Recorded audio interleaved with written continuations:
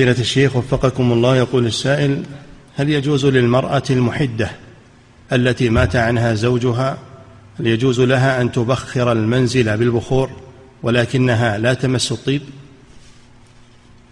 هل؟ هل يجوز للمرأة المحدة التي مات عنها زوجها أن تبخر المنزل بالبخور ولكنها لا تمس الطيب؟ لا تشمه أما أنها تجعل في المنزل. بخورا يغير رائحته لا بأس بذلك أو عطر أو ما أشبه ذلك لكن لا تقصد شمه بأنفها. نعم.